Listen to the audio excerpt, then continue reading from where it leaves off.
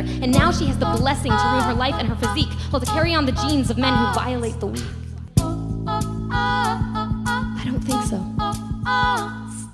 For every woman who's ever had to get on her knees, stand up.